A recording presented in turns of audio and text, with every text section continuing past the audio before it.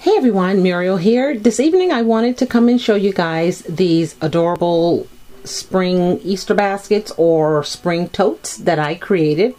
The other day I was watching Ginger on my Sister's Scrapper. We all know who she is. She does great work. She does really fast, very creative, very creative. And she showed these totes that she made and it was really, really easy to follow. It's made with a six by six piece of paper and I'll put her tutorial down below. I won't um, kind of show this again because she shows it like no other, really quick, really fast. I think the whole video is probably two minutes, if three, might be three minutes. But it was just so easy to make, and I had been thinking, you know, what else can I do with this spring paper? I had a few Easter sheets left. I still wanted to give some uh, friends at work a, a little something for for spring and Easter. I did make the three totes with the um, envelope, but I didn't make any more than that because those took a little time consuming. But these were easy peasy lemon squeezy. So um, I emailed, well, I didn't email, but I responded on Linda's channel um, that I was going to make a dozen, and I did. There's four here, four, four, so there's 12. and I used the 6 by 6 uh, the 12 by 12 uh, paper pad. I'll show it to you here.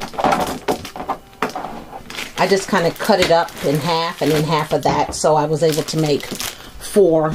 So this is um, a paper pad. I think it's called Spring and it's by, um, excuse me, uh, you know, I, would be guessing if I said Echo Park. I'm just not sure because I it is Echo Park paper. Yes, I use the cover sheet to make the handles on these baskets.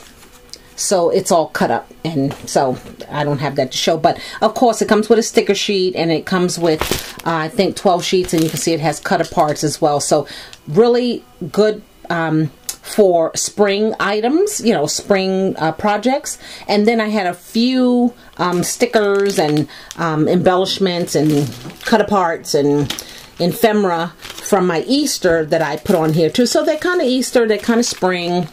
You know, we're going to call them spring totes. And I use this on them as well. And my flowers that I'm using, I kind of went back and forth. I wanted to use um, these here by Jolee's. I picked these up at Tuesday morning a couple weeks ago. And what I did with the white ones, I have to show you, I took this little yellow center out and I used some seed beads that I had found over at Tuesday morning and this is what I did with the white ones. So they all have pink a mixture of seed beads that I put together and I kind of changed them up. I mean I love the look but I wanted something different. I didn't want that yellow pom-pom ball in the middle. So I wanted to use these but I didn't. I ended up using which I've had for some time now these Martha Stewart stickers and they were same thing. Tuesday morning they were 99 cents and they just really caught my attention when it came to spring so I use these on here. Plus I know that these are going to be thrown away in a hot minute right? So I didn't want to put too much heavy hardware on them. So they look like this. They are just um, I used a Spellbinders um, nestability die with, on some white cardstock. Uh, Martha Stewart punch for the leaves. This is the punch here. Um, and then Martha Stewart um, sticker here. And it came just like that. Um, I have some Hi-Chews and some chocolate in there with some of my favorite shred from Tuesday morning. And on the back, I just put a uh, ephemera piece, and this one happens to say sunshine. So again, I made a dozen. I'll just pick these up real quick and show them to you. Um, and I'm taking them in tomorrow and the ladies will just ooh and ah as they do. they're just so um, so grateful. So, you know, and they're sweet. And I just think these were just so fun to make. So here's one I put a Easter sticker on the back. And it looks like that.